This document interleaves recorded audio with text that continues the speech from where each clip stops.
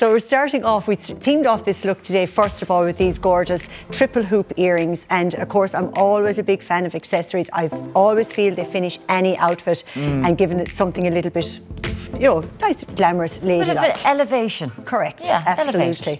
Now we're going on to this top then, and the top itself is, as you see, it's something that you just literally pop on and away you go, and you're dressed and yet looking quite smart when you're, you know, heading away for the day or whatever you're at, yeah. whether you're doing a school run or indeed out for lunch. It's an oversized top which is nice and comfortable. It's loose.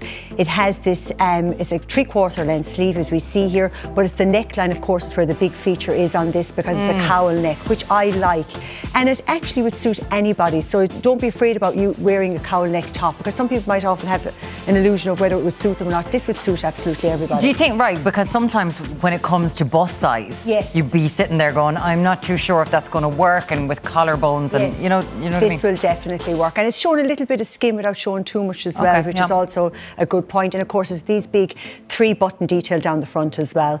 We themed it up then today, and wearing with this gorgeous little pink bag, tassel detail. It has a front pocket as well, which is ideal for holding your phone, of course. And then these jeans, I love. I'm a massive fan with jeans, and anyone that knows me knows I live in jeans pretty much seven days a week. But these jeans, I love them because there's a great stretch in them. Of course, there's four pocket detail, two to the front and two to the back.